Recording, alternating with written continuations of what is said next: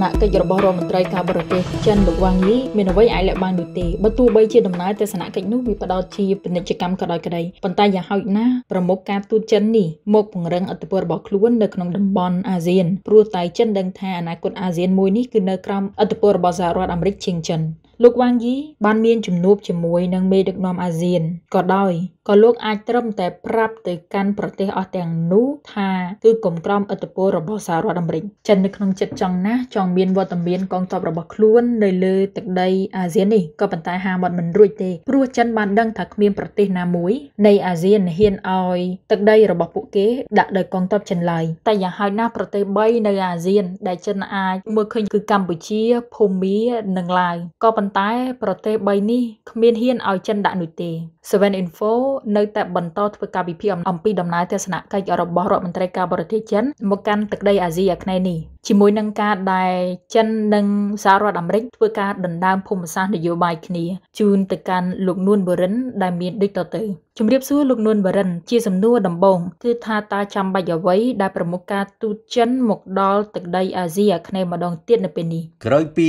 អនុប្រធានាធិបតីអាមេរិកលោកស្រី Kamala Harris បានបិទបញ្ចប់ទស្សនកិច្ចរបស់លោកស្រីមកកាន់តំបន់អាស៊ានគឺមកជន់ទឹកដីវៀតណាមនិងសិង្ហបុរីហើយភ្លាមភ្លាមបន្ទាប់ពីការបញ្ចប់ទស្សនកិច្ចរបស់រដ្ឋមន្ត្រីការពារជាតិអាមេរិក Lloyd Austin មកកាន់អាស៊ានដែរនោះនៅពេលនេះការធ្វើទស្សនកិច្ចជាថ្មីទៀតរបស់ប្រមុខការទូតចិនវ៉ាងជីជាន់ទឹកដីអាស៊ាន ជាការផ្ដើមឲ្យមានការលើកប្រធានបទនេះមកធ្វើការវិភាគនិងចោទសួរបកស្រាយថាតើទស្សនកិច្ចរបស់ប្រមុខការទូតចិនមកកាន់អាស៊ាន មានប្រយោជន៍អ្វីនៅពេលនេះហើយដើម្បីអ្វីទៅការពិតយើងបានដឹងហើយថាមហាអំណាចធំពីរដែលកំពុងប្រទីងប្រទង់ដណ្ដើមគ្នាយកភូមិសាស្ត្រនយោបាយពីសមាគមអាស៊ាននេះគឺមានតែសហរដ្ឋអាមេរិកនិងចិនតែប៉ុណ្ណោះសហរដ្ឋអាមេរិកជាមហាអំណាចក្រោយសង្គ្រាមលោកលើកទី2ដែលមានឥទ្ធិពលខ្លាំងក្លាជាងគេទាំងសេដ្ឋកិច្ចនយោបាយនិងយោធាឥឡូវនេះក្នុងប្រមាណទសវត្សរ៍ចុងក្រោយនេះឃើញថាមហា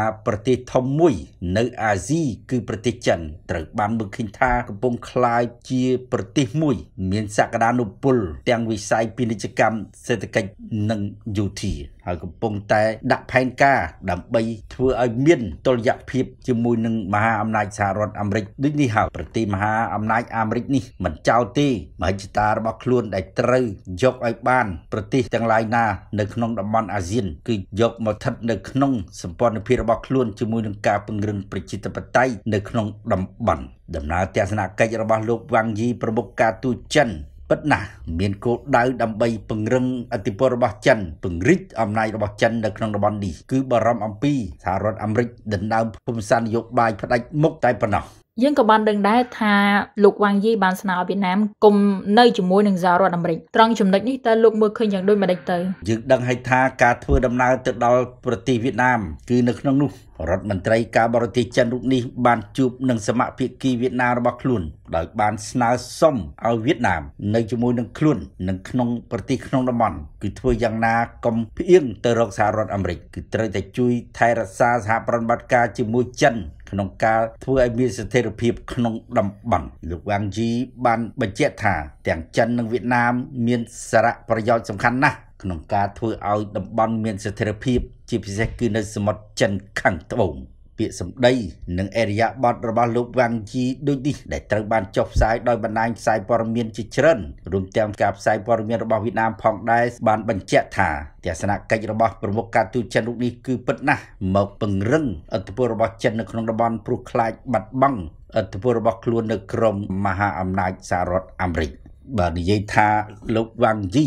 បានស្នើឲ្យវៀតណាមកុំនៅជាមួយនឹងសហរដ្ឋអាមេរិកនោះគឺពិតណាស់សហរដ្ឋអាមេរិកទទួលស្គាល់ថាវៀតណាមជាសមាជិកមួយនៅក្នុងតំបន់អាស៊ាន ដែលមានឥទ្ធិពលខ្លាំងក្នុងការចាប់យកភូមិសាស្ត្រនយោបាយរបស់សហរដ្ឋអាមេរិកហើយបើដូចនេះគឺលោកវ៉ាងជីពិតណាស់ដែលថាត្រូវតែស្នើសុំឲ្យវៀតណាមកុំនៅជាប់នឹងសហរដ្ឋអាមេរិកហើយត្រូវរួមគ្នាសហប្រតិបត្តិការជាមួយនឹងបណ្ដាប្រទេសក្នុងតំបន់អាស៊ាន ជាពិសេសជាមួយប្រទេសចិនដើម្បីកសាងសន្តិភាពក្នុងតំបន់រួមគ្នានិងទប់ស្កាត់រាល់ចលនាទាំងឡាយណាដែលចង់បង្កអស្ថិរភាពក្នុងតំបន់ទស្សនកិច្ចរបស់លោកវ៉ាងយីដែលទៅកាន់ទីក្រុងហាណូយនោះទោះបីលោក បាននិយាយយូងទៅដល់សហប្រតិបត្តិការมันអាចខ្វះបានជាមួយនឹងវៀតណាមក៏ដោយគឺលោកនៅតែលួងចិត្តវៀតណាមឲ្យនៅជាមួយនឹងចិនជាជាងនៅជាមួយសហរដ្ឋអាមេរិកក្នុងទស្សនកិច្ចនោះហើយដែលលោកវ៉ាងជីបានសន្យាថាប្រទេសចិននឹងបន្តផ្ដល់ជំនួយវ៉ាក់សាំងទៅឲ្យប្រទេសវៀតណាម3លានដុសទៀតដែលនាំឲ្យវ៉ាក់សាំងរបស់ចិនធ្លាក់ក្នុងដៃប្រទេសវៀតណាមនេះគឺជាង5លានដុសគឺប្រហាក់ប្រហែលនឹងសហរដ្ឋអាមេរិកផងដែរ ប៉ុន្តែសម្រាប់ភាគីរបស់វៀតណាមវិញក៏បានថ្លែងថាខ្លួនគីជារដ្ឋអធិបតេយ្យជារដ្ឋដែលមិនចំណុះប្រទេសណាមួយនោះទេប៉ុន្តែជារដ្ឋដែលត្រូវការសាបរណបការជាមួយនឹងប្រទេសជិតខាងដែលរួមមានទាំងប្រទេសចិនដើម្បីកសាងសន្តិភាពក្នុងតំបន់ដែលទីក្រុងហាណូយចាត់ទុកថាចិនជាមិត្តរបស់ខ្លួនក្នុងតំបន់ដែលពុំអាចខ្វះបានឡើយតែបើតាមប្រវត្តិសាស្ត្រវិញវៀតណាមនិងចិនពុំដែលត្រូវគ្នាខ្លាយជាមិត្តដៃថែបបាននោះទេពេលនេះចិននៅតែត្រូវបានវៀតណាមចោទថាទន្ទ្រានកាន់កាប់ដែនទឹករបស់ខ្លួននៅសមុទ្រចិនខាងត្បូងនោះទីគឺចិនធ្លាប់ គ្រប់គ្រងលុកលុយកោះរបស់វៀតណាម បានជាច្រើនរួចទៅហើយកាលពីសង្គ្រាមសមុទ្រឆ្នាំ1974នៅប្រជុំកោះប៉ារ៉ាសែលហើយថ្មីថ្មីនេះវៀតណាមចោទចិនថាបានបំពេញដែនកោះរបស់វៀតណាមថែមទៀតហើយវៀតណាមបានគម្រាមថាខ្លួនគេនឹងប្តឹងចិននេះទៅកាន់តុលាការមជ្ឈត្តការអន្តរជាតិបើពេលណាមួយការដោះស្រាយតំបន់មិនអាចធ្វើបានហើយឈានទៅដល់ដំណោះការទូតធ្ងន់ធ្ងរនោះប្រជាជនវៀតណាមតែងតែធ្វើបាតកម្ម ប្រឆាំងនឹងវត្តមាននាវាចម្បាំងនិងទូកនេសាទរបស់ចិនដែលចូលមកដែនទឹករបស់ខ្លួន ប្រជាជនវៀតណាមកាលពីឆ្នាំ2016-17 បានធ្វើបាតកម្មនៅខាងមុខស្ថានទូតចិននៅទីក្រុងហាណូយដោយទាមទារឲ្យចិនបញ្ចប់នៅមហិច្ឆតា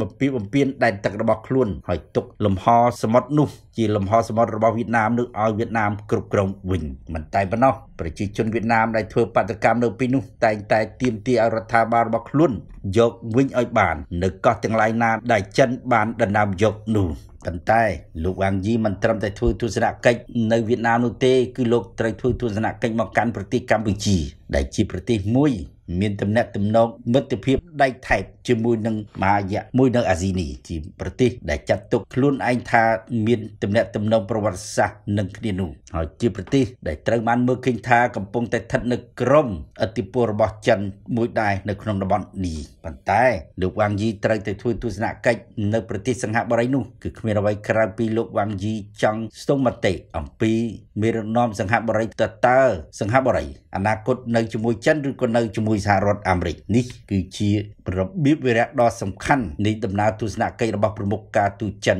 រូបនេះតាមការបកស្រាយរបស់លោកគឺទស្សនៈរបស់លោកវ៉ាងយីដើម្បីពង្រឹងឥទ្ធិពលចិននៅក្នុងតំបន់តើចិនហ៊ានលះបង់អ្វីខ្លះចាប់តាំងពីឆ្នាំ2010មកប្រទេសចិនបានកសាងកោះសពនិមិត្តជាង10កោះទៅហើយនៅសមុទ្រចិនខាងត្បូងនៅប្រជុំកោះប៉ារ៉ាសែលនិងស្ប្រាតលីដែលកោះទាំងនោះសុទ្ធតែជាមូលដ្ឋានកងទ័ពរបស់ចិនដើម្បីពង្រឹងនិងពង្រីកសក្តានុពលយោធារបស់ចិននៅក្នុងតំបន់សមុទ្រចិនខាងត្បូងនោះគឺដើម្បីការពារដែនទឹករបស់ចិន និងដើម្បីធ្វើសង្គ្រាមបើសង្គ្រាមសមុទ្រចិនខាងត្បូងធ្លាក់មកដល់នោះចិនបានប្រកាសថាខ្លួនគេផ្ទាល់មានផ្ទៃដីនៅសមុទ្រចិនខាងត្បូងដល់ទៅ90%នោះនៃផ្ទៃសរុប3លានគីឡូម៉ែត្រក្រឡា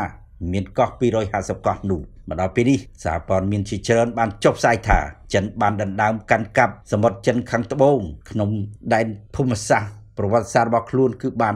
80%ទៅហើយហើយនៅពេលនេះទៀតការដែលចិនដណ្ដើមបានច្រើនដូចនេះតើចិនហ៊ានលះបង់វិញដែរឬទេទំនងពុំអាចទៅរួចនោះទេបើចិនមិនអាចបោះបង់កោះទាំងនោះទៅឲ្យប្រទេសជិតខាងវិញនោះទេក៏ចិនពុំអាចយកអាស៊ានបានដែរប្រទេសដែលកំពុងមានចំនួនជាមួយនឹងប្រទេសចិនមិនថាឡើយវៀតណាមទេគឺមានម៉ាឡេស៊ីប្រ៊ុយណេហ្វីលីពីនប្រទេសហ្វីលីពីន ពេលនេះបានសេវាអោបសហរដ្ឋអាមេរិកវិញហើយដោយសម្រេចបង្កើតកិច្ចព្រមព្រៀងយោធាជាមួយនឹងអាមេរិកឡើងវិញដោយកិច្ចព្រមព្រៀងនេះត្រូវបានប្រធានាធិបតីឌូតូតេព្យួរចោលរយៈពេល5ឆ្នាំមកនេះឥឡូវនេះកិច្ចព្រមព្រៀងនេះបានរស់ឡើងវិញស្របពេលដែលចិនត្រូវបានទីក្រុងម៉ានីលចោទថាបានលុកលុយចូលដែនទឹករបស់ខ្លួននៅសមុទ្រចិនខាងត្បូងដោយមាននាវាចិនរាប់សិបគ្រឿងចូលដែនទឹករបស់ហ្វីលីពីនហ្វីលីពីនបានដាក់ញត្តិការទូតរបស់ខ្លួនចំនួន2 3លើកមកហើយតែចិនពុំបានទទួលយកញត្តិនោះទៅដោះស្រាយនោះទេមិនតែប៉ុណ្ណោះចិនបានអាងថា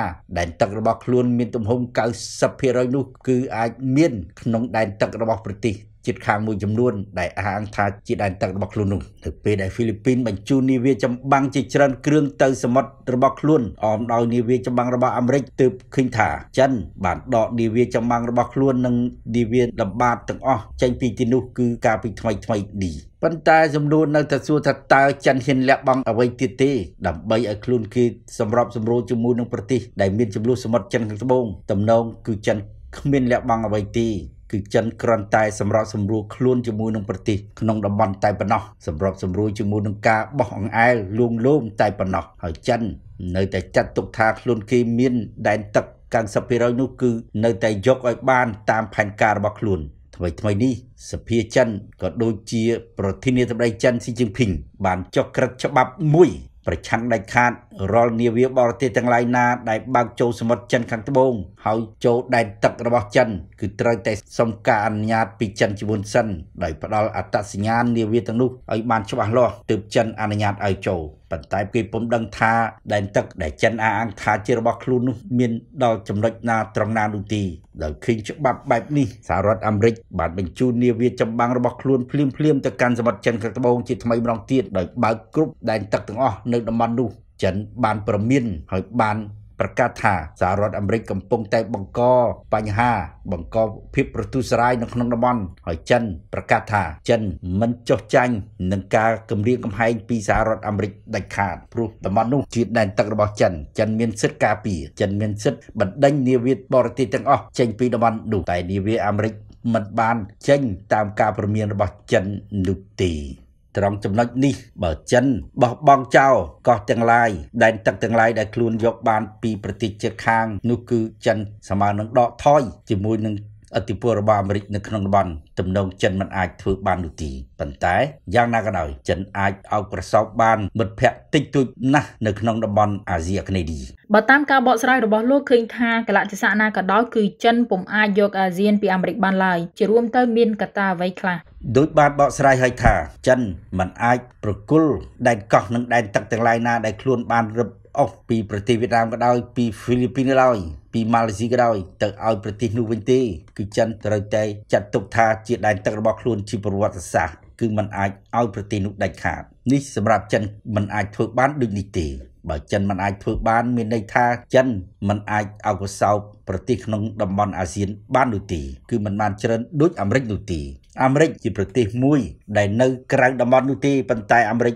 បានប្រើប្រាស់ឥទ្ធិពលរបស់ខ្លួនក្នុងនាមជាមហាអំណាចពិភពលោកបានរត់មកការពារដែនទឹករបស់ប្រទេសនៅក្នុងតំបន់អាស៊ីអាគ្នេយ៍សហរដ្ឋអាមេរិកបានអោបក្រសោបជាមួយនឹងហ្វីលីពីន អោបក្រសោបជាមួយនឹងវៀតណាមម៉ាឡេស៊ីព្រោះប្រទេស3នេះធ្លាក់ក្នុងចំនួនជាមួយចិនធ្ងន់ធ្ងរជាងគេបើប្រៀបធៀបនឹងប្រុញណេដែលអះអាងថាខ្លួនគេក៏កំពុងភ័យខ្លាចបាត់កោះនិងដែនទឹករបស់ខ្លួននៅក្រោមការគ្រប់គ្រងរបស់ចិនផងដែរ សហរដ្ឋអាមេរិកដែលសម្លឹងឃើញថាត្រូវការពីផលប្រយោជន៍របស់ប្រទេសក្នុងតំបន់អាស៊ាននេះគឺត្រូវប្រឆាំងចិនប្រឆាំងនឹងការវាទីរបស់ចិននេះគឺយ៉ាងហោចណាស់ប្រទេសអាស៊ានដែលមានទំនាស់ជាមួយចិនត្រូវតែនៅជាមួយអាមេរិកនេះសម្រាប់អាមេរិកអាមេរិកមើលឃើញដូចនេះអាមេរិកសម្លឹងមើលតំបន់អាស៊ានអាមេរិកអាចយកបានច្រើនជាងចិននេះបាននិយាយអំពីចំនួនសមុទ្រចិនត្បូងជាមួយនឹងការដែលអាមេរិកត្រូវពង្រីកសម្ព័ន្ធភាពរបស់ខ្លួននៅក្នុងតំបន់អាស៊ានគឺតាមរយៈការជួយប្រទេសក្នុងតំបន់អាស៊ានក្នុងចំនួនសមុទ្រចិនត្បូងប៉ុន្តែតំបន់អាស៊ានខ្លួនឯងផ្ទាល់ក៏ដឹងថាមិនមែនមានតែអាមេរិកទេជួយខ្លួនការពារផលប្រយោជន៍របស់ខ្លួននៅក្នុងចំនួនសមុទ្រចិនត្បូងនោះសូម្បីតែឥណ្ឌាជប៉ុនអូស្ត្រាលីកូរ៉េខាងត្បូងអាល្លឺម៉ង់អង់គ្លេសបារាំងកាណាដាដែលជាសម្ព័ន្ធភាពរបស់អាមេរិកក៏កំពុងជួយប្រទេសនៅក្នុងតំបន់អាស៊ានផងដែរ ប្រទេសទាំងអស់នោះតែងតែបើកនាវាឆ្លងកាត់សមុទ្រចិនខាងត្បូងមកធ្វើសម្យុទ្ធនៅសមុទ្រចិនខាងត្បូងដើម្បីបង្ហាញកម្លាំងរបស់ពួកគេទប់ទល់នឹងឥទ្ធិពលរបស់ចិនហើយបានធ្វើសម្យុទ្ធជាមួយនឹងសហរដ្ឋអាមេរិកជាមួយនឹងបណ្ដាសម្ព័ន្ធមិត្តរបស់ខ្លួនទៀតផងទាំងនេះក៏ជាផ្នែកមួយដែលប្រទេសក្នុងតំបន់អាស៊ានមើលឃើញថាចិននឹងពុំអាចប្រគល់កោះទាំងនោះឲ្យខ្លួននោះទេគឺមានតែត្រូវតែអោបក្រសោបជាមួយអាមេរិកនិងសម្ព័ន្ធមិត្តរបស់អាមេរិកកត្តាមួយទៀតនោះគឺអាស៊ានខ្លួនឯងថាតើត្រូវសាមគ្គីភាពគ្នាដូចម្ដេចដើម្បីការពារភូមិសាស្ត្ររបស់ខ្លួនកុំឲ្យធ្លាក់ជ្រុលទៅខាងអាមេរិកនិងចិននោះប៉ុន្តែពុំអាចធ្វើបាននោះទេសម្រាប់អាស៊ានខ្លួនឯងនេះគេដឹងហើយថាប្រទេសនៅក្នុងអាស៊ានមួយចំនួន ជាសម្ព័ន្ធភាពចាស់របស់សហរដ្ឋអាមេរិកគឺពុំអាចកាត់ផ្ដាច់ពីអាមេរិកបានឡើយ មានដូចជាឥណ្ឌូនេស៊ីហ្វីលីពីនសិង្ហបុរីម៉ាឡេស៊ីនិងប្រទេសថៃជាដើមសម្រាប់សម្ព័ន្ធភាពថ្មីរបស់អាមេរិកគឺប្រទេសវៀតណាមវៀតណាមច្បាស់ណាស់ខ្លួនគេនៅជាមួយអាមេរិកគឺប្រសើរជាងនៅជាមួយចិននៅក្នុងកលៈទេសៈនេះ យ៉ាងណានៅក្នុងតំបន់អាស៊ានមើលទៅពុំមានប្រទេសណាមួយហ៊ានឲ្យកងទ័ពចិនតាំងមូលដ្ឋានរបស់ចិននៅលើទឹកដីរបស់ខ្លួននោះទេប្រទេសដែលសង្ស័យថាអនាគតអាចទ័ពចិននៅលើទឹកដីរបស់ខ្លួនបានគឺមានកម្ពុជាឡាវនិងភូមាប៉ុន្តែសម្រាប់ទស្សនៈរបស់ Seven Info មើលឃើញថាប្រទេស3នេះពិតណាស់ពុំអាចហ៊ានដាក់កងទ័ពចិននៅលើទឹកដីរបស់ខ្លួនឡើយព្រោះបើមានវត្តមានកងទ័ពចិននៅលើទឹកដីរបស់ខ្លួនគឺវានឹងគ្រោះថ្នាក់ដល់ភូមិសាស្ត្រនយោបាយក្នុងតំបន់ន់ហើយក៏វាគ្រោះថ្នាក់ខ្លួនឯងផងដែរវៀតណាមបច្ចុប្បន្ននេះមើលទៅកំពុងតែបារម្ភខ្លាចកម្ពុជាមានវត្តមានកងទ័ពចិននៅលើទឹកដីកម្ពុជាហើយក៏ខ្លាចឡាវខ្លាចជាបុលឋានកងទ័ពរបស់ចិនផងដែរសម្រាប់វៀតណាមពិតណាស់ប្រឆាំងដាច់ខាតវត្តមានកងទ័ពចិននៅលើទឹកដីកម្ពុជានិងឡាវហើយសម្រាប់វៀតណាមពិតណាស់បើប្រទេសពីរនេះមានវត្តមានកងទ័ពរបស់ចិននៅលើទឹកដីរបស់ខ្លួននោះគឺវៀតណាមអោបក្រសោបខ្លាំងមែនទែន ជាមួយនឹងសហរដ្ឋអាមេរិកបើចង់មិនចង់យ៉ាងហោចណាស់ក៏ទីក្រុងហាណូយ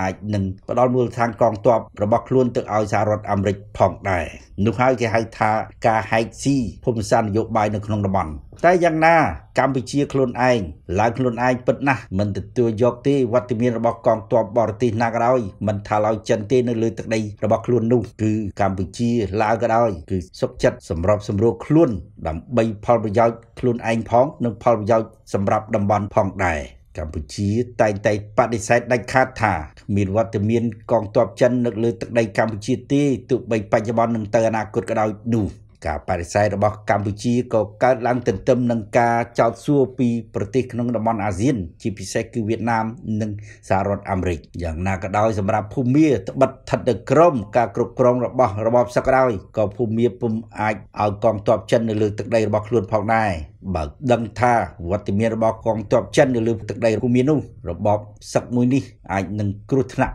យ៉ាងងាយបំផុតព្រោះពេលនោះឥណ្ឌាមិនចង់ឃើញវត្តមានទ័ពចិននៅជាប់ព្រំដែនខ្លួនដាច់ខាតព្រោះព្រំដែនភូមិជាប់នឹងប្រទេសឥណ្ឌាផងដែរឥណ្ឌាច្បាស់ណាស់នឹងមានវិធានការប្រឆាំងនឹងរបបសឹកបច្ចុប្បន្ននេះដោយឡែកសហរដ្ឋអាមេរិកវិញទោះបីភូមាមិនដូចកម្ពុជានឹងឡើងក៏ដោយតែសហរដ្ឋអាមេរិកអាចនឹងប្រើប្រាស់ឥទ្ធិពលរបស់ខ្លួនមួយទៀតតាមរយៈឥណ្ឌាតាមរយៈប្រទេសផ្សេងទៀតដើម្បីប្រឆាំងនិងវត្តមានរបស់កងទ័ពបរទេសនៅលើទឹកដីភូមាគឺសហរដ្ឋអាមេរិកមិនឲ្យមានដាច់ខាតយ៉ាងណារបបសឹកភូមាមើលទៅពុំអាចរស់បានយូរនោះទេគឺវាត្រូវតែរលាយបើរបបនេះរលាយរបបប្រជាធិបតេយ្យនឹងរស់ឡើងវិញរបបប្រជាធិបតេយ្យរស់ឡើងវិញច្បាស់ណាស់វាជាសម្ព័ន្ធភាពរបស់សហរដ្ឋអាមេរិកសរុបទៅចិនពុំអាចដណ្ដើមភូមិសាស្ត្រនយោបាយបានឡើយពីសហរដ្ឋអាមេរិកសម្រាប់ទឹកដីអាស៊ីអាគ្នេយ៍មួយនេះហើយទស្សនកិច្ចរបស់ប្រមុខការទូតចិនមកកាន់តំបន់អាស៊ាន បានត្រឹមតែពង្រឹងសហប្រតិបត្តិការក្នុងអន្តរការមួយដងមកការតែប៉ុណ្ណោះបានត្រឹមតែមកលួងចិត្តប្រទេសមួយចំនួននតែប៉ុណ្ណោះជាពិសេសគឺវៀតណាម និងសិង្ហបុរីប៉ុន្តែចិត្តគំនិតរបស់វៀតណាមសិង្ហបុរីតាមមើលទៅ គឺมันអាចនៅជាមួយចិនបានឡើយបើគិតពីចំនួនប្រទេសអាស៊ាននៅក្នុងតំបន់ចំនួន10នេះគឺពុំអាចរកឃើញប្រទេសណាមួយ ជារបស់ចិនដាច់មុខនោះទេសូម្បីតែកម្ពុជា សូម្បីតែឡាវភូមាក៏ដោយនោះសម្រាប់កម្ពុជានិងឡាវมันអាចនៅក្រមចិនដាច់ខាតគ្រាន់តែក្នុងរូបភាពនៃការកសាងសេដ្ឋកិច្ចក្រមជំនួយរបស់ចិនរាប់ពាន់លានដុល្លារតែប៉ុណ្ណោះគឺប្រទេសពីរនេះចៅវៀតណាមមិនបានដាច់ខាត